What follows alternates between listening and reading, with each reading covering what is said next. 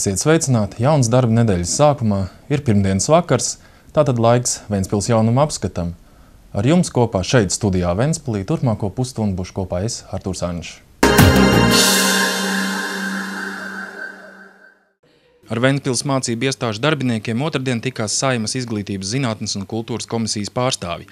Vizītes mērķis bija iepazīšanās ar izglītības sistēmu Ventspilī, attīstības virzieniem un nākotnes iecerēm – Vizītes laikā tehnikumā izglītības zinātnes un kultūras pārstāvi interesējās par izglītības programmām, tehnikuma sadarbību ar pašvaldību un komersantiem. Tikšanās laikā tika izskatīta arī Ventspils tehnikumam svarīgi jautājumi. Izmantojot šīs tikšanās iespēju, tehnikuma direktora Kristīna Vāgner vērstās pie komisijas pārstāvjiem ar lūgumu ieviest izmaiņas izglītības jautājumos likumdošanas līmenī – Ventspils tehnikums ir gatavs piedalīties startautiskās izglītības programmās un apmācīt ārvalsts studentus, taču saskaņā ar likumu izglītību tehnikumā var iegūt tikai latviešu valodā. Ja tiktu ieviests izmaiņas likumā, tad, uzņemot studentus, piemēram, no Vācijas, pēc kvalifikācijas eksāmena nokārtošanas absolvents saņemtu diplomu divās skolās. Turklāt, pēc Kristīnas Vāgners domām, nepieciešams tehnikumam atjaunot kompetences centra status, kas savā ziņā ir kā kvalitātes zīme – Tikšanās laikā bez ievērības nepalika arī tāds jautājums kā pedagoģu darba apmaksas jaunais modelis, kur plānots ieviest sākot ar jauno mācību gadu. Jauno atalgojumu modeli izstrādā Izglītības un zinātnes ministrija. Pagaidām šis piedāvātais modelis tiek uzņemts kritiski gan no pašvaldību puses, kuru ieviešana nopietni palielinās finansiālos izdevumus, kā arī no pašu pedagoģu puses. Pēc Ventspils izglītības pārvaldes vadītāja Aldis Lavinska vārdiem, samaksas par 36 stundu darba nedēļu ieviešana būtu pamatot, taču tālāk seko neskaidrības.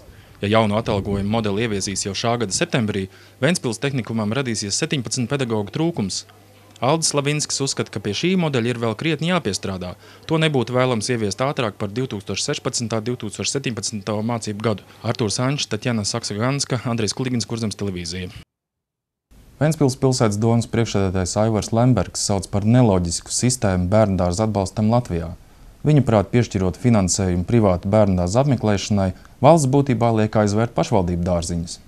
Saskaņā ar likumu pašvaldībai obligāti jānodrošina bērniem, kas dzīvo tās teritorijā, ar vietām bērndārzos. Ja izveidojas rindas, tad valsts piešķir finansējumu vietu nodrošināšanai privātajos bērndārzos. Tie ir 142 eiro uz vienu bērnu mēnesī. Iznāk, ka pašvaldības, kuras neievēro likumu, nenodrošinot pietiekamu vietu skaitu bērndārzos, ekonomē finanšu līdzekļus savā budžetā. Šobrīd ir tāda dīvaina situācija, kad pašvaldības, kuras nav izpildījušas likuma noteiktās eh, funkcijas un pienākumus, tās saņem atbalstu kā prēmija no valsts. Savādāk tās, kas ir atrisinājuši šo jautājumu un nofinansējuši to visu un turpina finansēt, tās faktiski nesaņem nekādu atbalstu, iznāk, ka viņas tiek sodītas. Ja. Vides aizsardzības un reģionālās attīstības ministrs Kaspars Gerhards piekrīt, ka sistēma nav perfekta.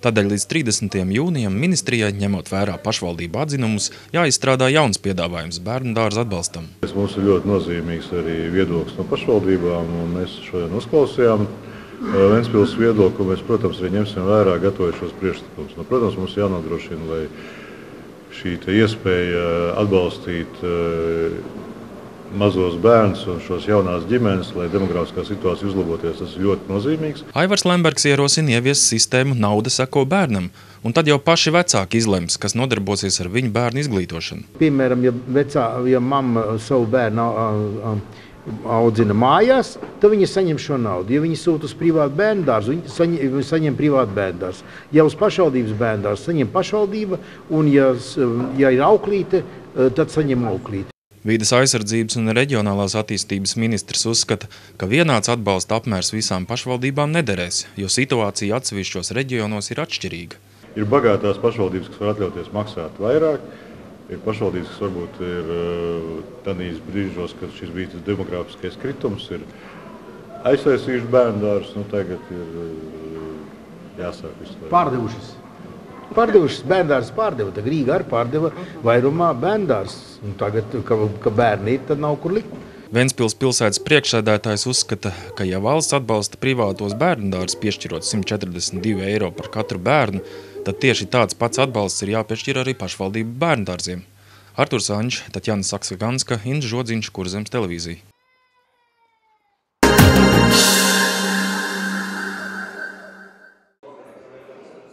Ventspils pašvaldības Sijā Ūdeka uzsākusi pilsētas ūdens saimniecības attīstības projekta piektās kārtas īstenošanu.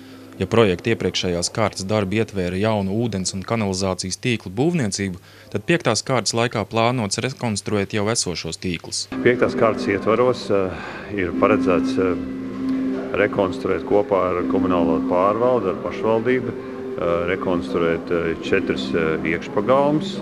Tad, tad tur tiks sakārtota apkārtējā vide, kā arī Eh, nomainīti eh, cauruļu vadi, ūdensvads, kanalizācija, eh, lai nodrošinātu normālu ūdens padevu un kanalizācijas novadīšanu. Šogad tiks rekonstruēti ūdensvadu un kanalizācijas tīkli trīs daudzdzīvokļu namu kvartālos pārventā. Rekonstrukcijas darbi noritēs šādos kvartālos.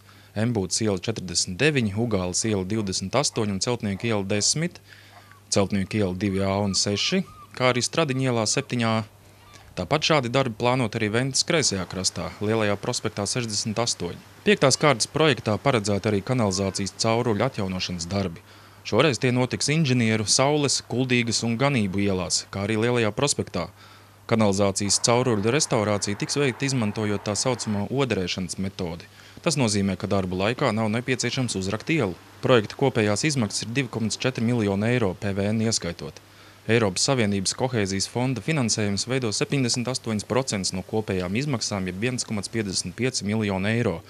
Pārējais ir pašvaldības SIA ūdeka līdzfinansējums. Tiesības veikt būvdarbus kopā deviņos objektos atklāt iepirkuma konkursa rezultātā ieguva SIA ostas celtnieks – Savukārt būvniecības uzraudzības darbus veiks Sijā Lakalme. Projekta piekto kārtu ir iespējams īstenot par vēl iepriekšējā Eiropas Savienības fonda plānošanas perioda finanšu līdzekļu atlikumu, tādēļ paredzētie darbi jāveic operatīvi. Pašlaik arī norit sarunas par iespējām saņemt līdzfinansējumu, lai kopējam ūdens apgādes tīklam varētu pieslēgt arī privātmājas. Varam izstrādāt, teiksim, atbalsta tās aktivitātes. Ir vairākas reizes Eiropas komisijā tika noraidīts, piemēram, par to pašu pieslēgumu atbalstu, kas ir no sarkanās līnijas līdz mājas uh, ievadam, ja, kas bieži vien tika diskutēts. Ja, joprojām pagaidām nav skaidrības, vai tiks atbalstīts Eiropas komisija, un cik es zinu, ir pie, pie, piesaistīti gan juristi, gan, gan no CFLA puses. Uh, teiksim, speciālisti, ja, kuri, kuri arī nu, pētīs, vai vispār šo programmu varēs atbalstīt, vai arī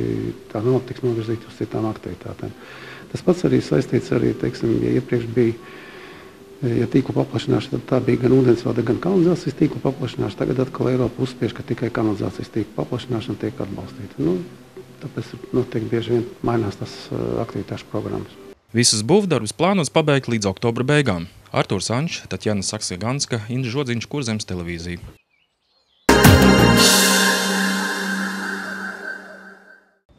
Ventspils pilsētas doma aicina līdz 1. jūlijam pieteikties dalībai jau 15. Ventspils startautiskajā ziedu paklāja festivālā. Kā jau ierasts, festivāls notiks Ostas ielas promenādē no 31. jūlija līdz 2. augustam laikā, kad norisināsies arī Ventspils pilsētas svētki. Šogad ziedu paklāja festivāla devīze būs zīmes – Pašvaldības Sijā Ventspils labiekārtošanas kombināts martā aicināja Ventspilniekus izteikt ierosinājumus par ziedu paklāju festivāla devīzi. Atsaucība bija milzīga, tika saņemti vairāk nekā simt dažādi ierosinājumi. Festivāla rīkotāji izvēlējās desmit krāšņākos un atbilstošākos nosaukums, bet iedzīvotāji izvēlējās uzvarētāju. Pašvaldības Sijā Ventspils labiekārtošanas kombināts aicina pieteikties dalībai festivālā gan jaunas komandas, gan tās, kuras jau ir startējuši ziedu festivālā. Piedalīties aicināti nozars interesanti, speciālisti un profesionāļi, ziedu veikali, saloni un skolas gan no Latvijas, gan ārvalstīm. Komandā var būt ne vairāk kā pieci dalībnieki. Festivāla laikā izgatavotos ziedu paklājus vērtēs žūrijas komisija Ventspils pilsētas domas priekšsēdētāja vietnieka Diģa Ošinieka vadībā. Ar konkursu nolikumu iespējams iepazīties vietnēs www.vlk.lv vai www.ventspils.lv. Pērn festivāla devīze bija garšīgi dzīvojumi, tajā piedalījās 40 floristu komandas no sešām valstīm. Ventspils pilsētas pašvaldība šogad piešķīrusi 1152 eiro pabalstiem mūsu pilsētas skolu 9. un 12. klašu absolventiem. Tiesības saņemt šādu finansiālu atbalstu ir tiem 9. un 12. klases skolēniem, kas aug maznodrošinātās ģimenēs, kā arī tie, kuri palikuši bez vecāku gādības. Piešķiramā pabalsta apmērs skolēnam no maznodrošinātās ģimenes ir 35,57 eiro. Savukārt finansiāli pabalsta 42,69 eiro apmērā var saņemt tie 9. un 12. klases absolventi, kuri palikuši bez vecāku gādības. Lai saņemtu šādu pabalstu, Ventspils pilsētas sociālajā dienestā jāiesniedz rakstisks iesniegums. Pabalstu iespējams saņemt laika posmā no 25. maija līdz 30. jūnijam Raiņa ielā 10 un Tāls ielā 39.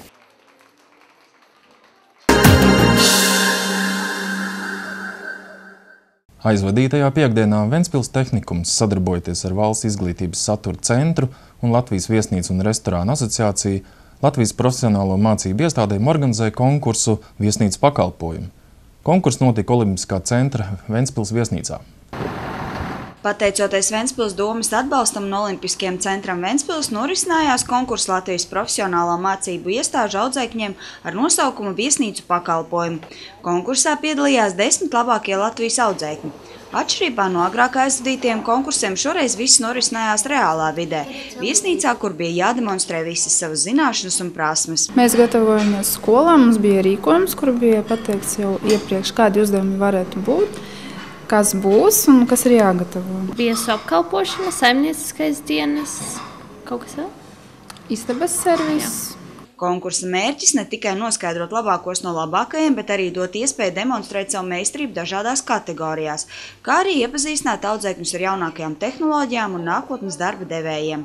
Konkurss kalpoja arī par pieredzes apmaiņas vidi starp profesionālajām mācību iestādēm, kas palīdz pēc tam uzlabot kopējo apkalpošanas jomas līmeni. Kopumā turistu atsauksmes ļoti pozitīvs par Latvijā pieredzēto gan apkalpošanas līmeni, gan viesnīcu komforta līmeni, gan, jo īpaši jāatzīmē arī restorānu, restorānus pautītajiem ēdieniem un dzērieniem.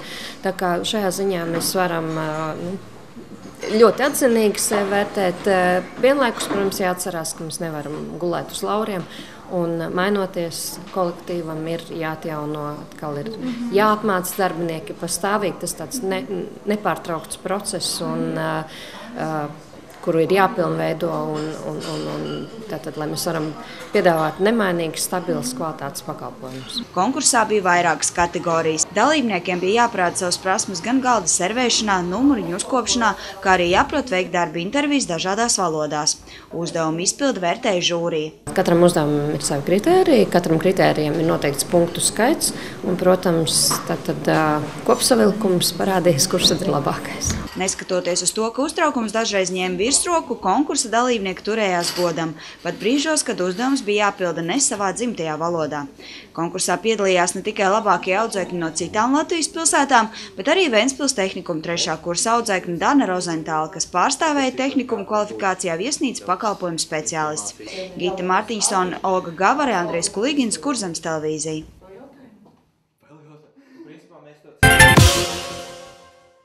Teātra nama jūras vārti jaunajā zālē aizvadīts jau otrais koncerta sērijas Džems ar Ventspils Big Bandu, jeb iepazīstot Big Band koncerts. Šoreiz par koncertu zvaigzni bija dziedātāja, kas iegūs arī maestro Raimonda Paula atzinību – Kristīna Prauliņa. Plašāk mūsu nākamajā sižetā. Jā. Pasākuma sērija ar nosaukumu Džems ar Ventspils Big Bandu, jeb iepazīstot Ventspils Big Band, turpina iepriecināt Ventspils publiku ar saviem priekšnesumiem. Šajā nu jau otrajā koncertā lielāks akcents tika likt uz vokālo mūziku. Programmā bija klausāma stilistiski dažāda mūzika, izceļot Big Band un solistu miedarbību. Ievadā muzicēja Ventspils Džeža Nonets, izpildot Ritvar Garozas un Loretas Mednes oriģināla kompozīcijas, kā arī grupas The Beatles skaņdarba aranžīs šādam mūziķu sastāvam. Koncertā kā solists uzstājās arī Ventspilnieki Roberts Petersons un Edvards Grieza. Mēs gribējām parādīt uh, vispār, ko mēs darām, un pēc iespējas uh, tas materiāls tika um, pielāgots tāds, lai būtu tas dekorācijas strauji mainītos un, un, un cilvēkiem vienkārši būtu interesanti un mums pašiem būtu interesanti spēlēt. Šoreiz mēs iesaistījām gan Eduardu, gan Robertu, un viņi ar šiem skaņdarbiem arī šogad absolvēs mūsu muzikas vidusskolu. Par koncerta kulmināciju kļūt dziedātājs Kristīnas Prauliņas uzstāšanās. Kristīna ir viena no šī brīža daudzsološākajām jaunajām latviešu džēzes dziedātājām.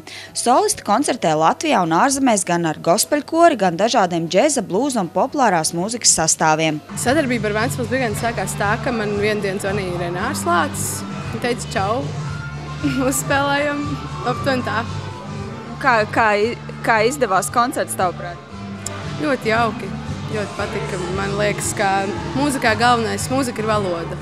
Mūzikā galvenais ir būt kopā un būt brīviem un, un uh, un tā, tā ir un bija. Tā kā skaisti. Tavā dzīvē arī bijis tāda iespēja, ka ceļš krustojās ar Raimondu Pauli. Varbūt pastāst cilvēkiem vairāk, kā tas sanāca. Nu jā, tas īstenībā arī ir viss saistīts ar, ar Big Band mūziku. Kā jau es teicu, koncertām Big Bandiem laikam liela loma dzīvē. Un, uh, caur Latvijas radio Big Bandu sanāca būt Latvijas radio, kur, kur maestro arī mīt, tā teikt. Un, uh, un uh, tā mēs iepazināmies. Jā, viņš pienāca pie manis kādā mēģinājumā, paspied roku. Un pēc pāris nedēļām parādīja man pirmos trīs skaņdarbus, jaunus, ko viņš bija uzrakstījis. Un, uh, gadu vēlāk ir iznācis albums. Šodien izpildīt dziesmas gan latviešu, gan angļu valodā. Kā tad ir, kā tev pašai ir vieglāk izpausties muzikā latviski vai angliski? Kā ir ērtāk? Diemžēl jāsaka, laikam, ka šobrīd angliski, bet ar, caur Paula projektus kaut kā ļoti, es sapratu, ka arī, arī latviešu valoda ļoti organiski dziedāt. Tā kā gribu arvien vairāk latviešu dziedāt patiesībā, jā. Jāpiebilst, ka pateicoties Ventspils pilsētas domas kultūras projekta konkursā iegūtajam līdzfinansējumam, teatrinamā Jūras vārti notiks četru koncertu cikls Džeims ar Ventspils Big Bandu. Kupli apmeklētajā pirmajā koncertā viesis un solists bija viens no Latvijas izcilākajiem saksofonistiem, divkārtais lielās mūzikas balvas laureāts Latvijas radio Big Band solists Gins Pabērs. Turpākajos šīs sērijas koncertos rudenī Ventspils Big Bands uzstāsies ar slavenajiem mūziķiem Interu Bustulu un Aju Andrējevu, bet tuvākais pasākums, kas šobrīd tiek saskaņots un plānots, būs jau 11. jūlijā, kad Big Bands plāno uzstāties ar interesantu zviedru trompetistu Larsu Lindgrēnu.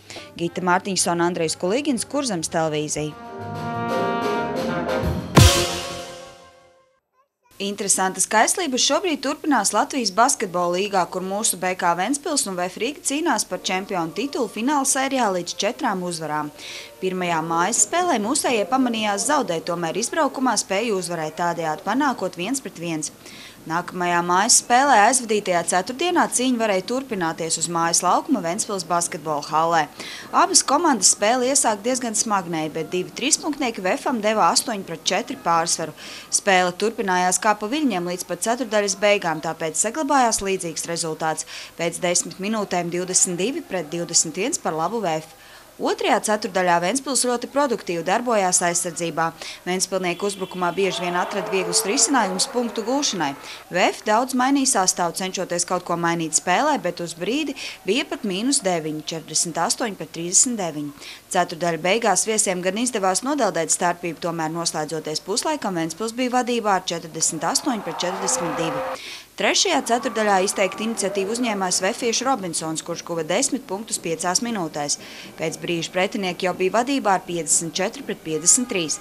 Turpmākajā spēlē ar labu sniegumu izcēlās mūsu Māris Gulbis, kā rezultātā noslēdzoties ceturdaļai, Ventspilniekiem jau atkal bija vadība ar 67 pret 58. Izšķirošajā ceturdaļā abas komandas spēlē ļoti nerezultatīvi, un Ventspilnieki varēja saglabāt vadību 69 pret 66. Viesi savas iespējas neizmantoja un spēles izskaņā Ventspils nosargāja uzvaru 87 pret 82. Pēc šīs spēles Ventspilnieki fināla sērijā izvirzījās vadībā ar 2 pret 1. Atbildes mačs izbraukumā norisinājās vakar, kuru mūsējām neizdevās nostiprināt savu vadību, un rezultātā spēle noslēdzās ar 79 pret 86 par labu VF. Tātad fināla sērijā atkal viss var sākties no gala, jo ir neizšķirts 2 pret 2. Tas nozīmē, ka gaidāmas vismaz 6 spēles. Jau rīt komandas tiksies Ventspilī, bet ceturtdien paredzēts šīs sezonas pēdējais mačs Rīgā Rīgā, kas varētu kļūt arī par pēdējo čempionātā. Gita Mārtiņsona, Mārtis Putnieks, Kurzemes televīzija. Katru gadu māja beigās no Staldzenes laivu bāzes tiek dots starts tradicionālajiem skrējienam apkārt Būšnieku ezeram. Skrējiens ir ieguvis lielu popularitāti dažādu vecumu sportot gribētāju vidū. Arī Kurzemes televīzija otro gadu piedalās šajā skrējienā. Par to plašāk stāsts mūsu nākamajā sižetā. Aizvadītajā sestdienā Staldzenē pie laivu bāzes tika dots starts tradicionālam skrējienam apkārt Būšnieku ezeram. Dalībniekiem bija jāveic viens aplis, jeb 8,1 km. Kaut gan organizatori no maratona kluba atklāja, ka precīzu datu par pirmo skrējienu nav pieejami, šis skrējiens bijis cieņā jau sen. Pirmo reizi es skrēju, ka man bija 13, tas ir 83. gadā. Un tas nebija pirmais skrējiens, tas nozīmē 30 pieci jau tiešām ir. Nu, nav neviens saskaitis, cik mēs vienmēr ākstāmies 35, 37 jubilejas. Tā kā ir vairāk kā 30 gadi šim skrējienam, un, un, un tāds viņš ir tradicionāls. Tie 8 km, takas tās pašas. Jo toreiz, kad es skrēju 83. tas bija baigais karstums, un es biju trenējies, un bija grūti. Tas bija vesels pārdzīvums man toreiz. Imants Auziņš bušnieks skrējienā piedalās jau otro gadu, un šogad rezultāts uzlabojies. Viņš atklāja, ka cilvēks pēc dabas ir slinks un vienmēr meklēs iegānstus, lai neskrietu. Tomēr tas ir kaut kā jāpārvar. Šogad ot, noskrēja jau labāk, 44 minūtes. Kur ir tā motivācija, kā jūs vispār sākāt skriet, kāpēc? À, motivācija nu, tāda, ka veselība labāk, jo arī tāds, nu, tagad jau cik 54 gadi jau būs. Un sāk tā nedaudz skriet, nu tāpat tas skriet nepatīk, zin, tur, nu grūti ir un tā gribas pagulēt un tā arī šodien negribējās skriet nākt, domāju, ka lietas būs, un tā varbūt, ka varēs izšmaukt kaut kā, bet lietas nebija un bija jāskrien. Tas pozitīvisms te ir tāds apkārt, jūtāt, visi jau no sākuma jau smaidīgi un tā patīkami. Dalībnieki tika dalīti grupās atbilstoši vecumam. Pirmās trīs vietas katrā grupā ieguma medaļas un balvas. Sacensībās piedalījās dalībnieki no Valdemārpils, Piltenes, Talsiem, Skrundas, Kuldīgas, Tukuma un, protams, Ventspils. Nāk vietējie staldzenieki. Es šodien braucu ar riteni pafilmēju, es kaut kāds viesis skriens, vai kādu sauc, no kurienes ir nostalģenes. Tad vēl, un, un, un šeit mēs atklājām arī mūsu maratona klubā vienu ļoti labu skrēju, Madara Frelich, tāda ir. Arī viņš šeit ieraudzījām, no kurienes tu no stāldzenes. Ar to nu, ir daudz stāldzenieki. Protams, kā mēs redzējām apbalvošanā, Bogdāno ģimene ir, ir, ir, ir vienmēr brauc jau, nezinu, kur gadu. Cik es pazīstu Bogdāno ģimeni, ir šeit, visi ģimeniski ir aizputnieki šoreiz atbraukuši, ir tālsenieki regulāri brauc. Nu, aptiem simts dalībniekiem ir, un tas tāds varbūt tāds labs treniņu cross skrējiens ir. Šogad uz starta stājās 78 dalībnieki. Visātrāk distanci veids Guntis Grīnvalds, kurš apkārt ezeram apskrēja 28 minūtēs un 17 sekundēs. Savās vecuma grupās par uzvarētājiem kļuva Izabela Bogdānova, Ingus Bogdānovs, Laura Čakli, Kārlis Leimanis, Ginta Rasa, Guntis Grīnvalds, Juris Baraus un Laimdota Heidene. Lieliem soļiem tuvojas arī lielākais skriešanas pasākums, kas tiek aizdīts Ventspilī – piedzīvojuma parka pusmaratons, kas šogad notiks no 20. līdz 21. jūnijam. Palikušas jau mazāk nekā 30 dienas, un organizatoriskie darbi rīt pilnā sparā. Ir pasūtītas medaļas, kas šogad būs 7 cm diametrā, notiks īpaša iesildīšanās, visus dalībniekus cienās ar tītaru gaļu un augsto zupu, un būs arī kāds jaunums. Katram 20, 40, 60, 80 dāvinās 50 eiro vērtu Nike somu. Tā kā nu, citur un citam vīrs un sieva skaitīs, nu, malā kāds tu esi. Neskrien 19, skrien 20, tas būs interesanti.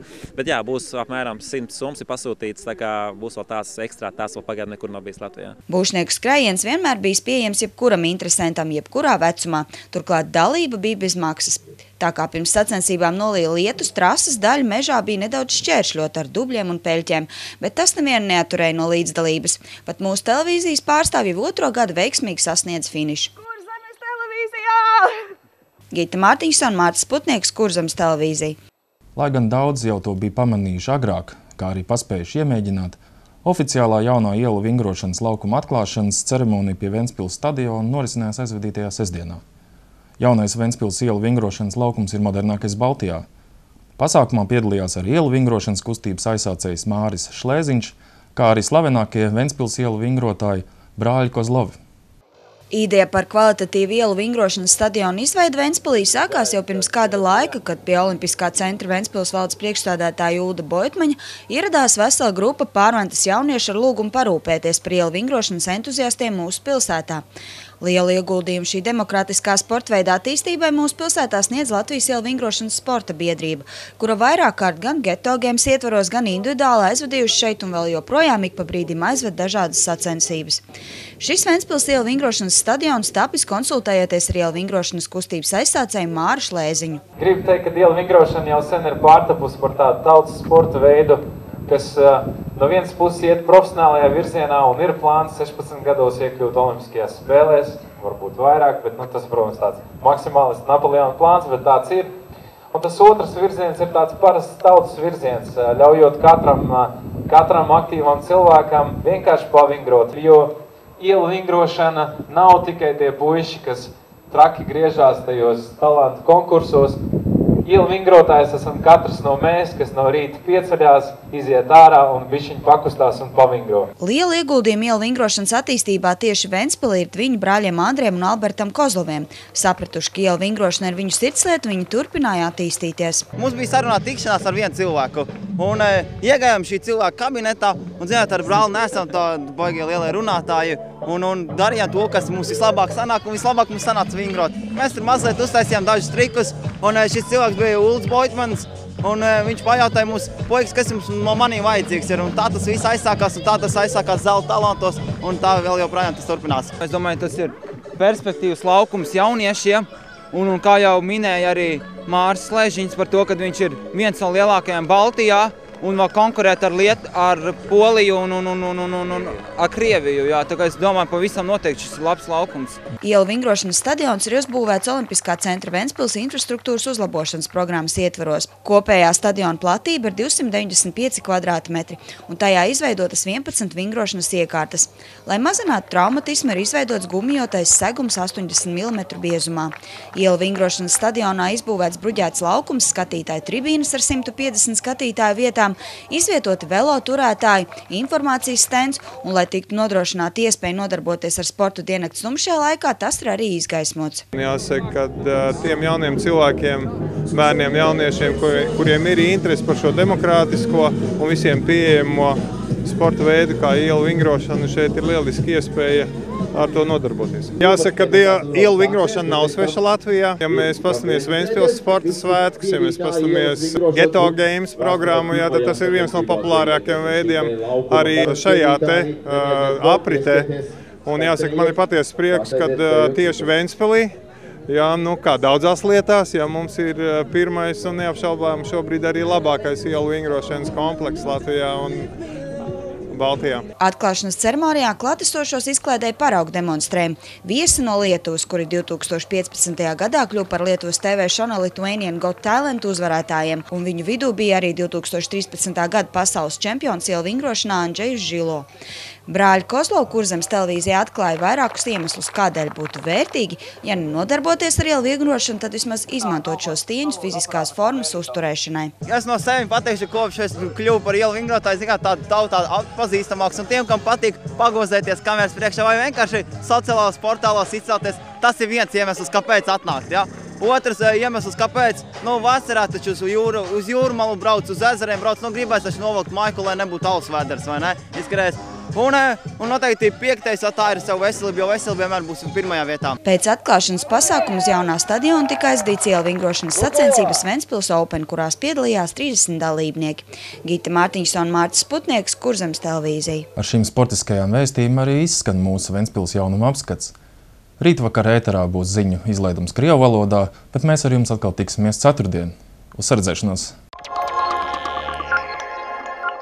Trešdien, 27. maijā, pulksten 18.30 tiešraidē Sijās Katvis kabeļu televīzijas tīkla informatīvajā kanālā, portālā www.ventspils.lv un portālā www.ventasbals.lv uz iedzīvotāju jautājumiem atbildēs Ventspils pilsētas domas priekšsēdētājs Aivars Lembergs, Ventspils pilsētas domas priekšsēdētāja vietnieks infrastruktūras jautājumos Jānis Vītoliņš un Ventspils pilsētas domas izpildu direktora vietniece attīstības pārvaldes vadītāja Kristīna Krasovska. Sarunas tēma – Eiropas Savienības fondu līdzekļu piesaistīšana pilsētas attīstībai. Jautājums iespējams uzdot portālā www.ventspils.lv un www.ventasbalss.lv, kā arī sūtot e-pastu uz ktv.kurzems.tv vai zvanot darba laikā pa tālruni 636 01183.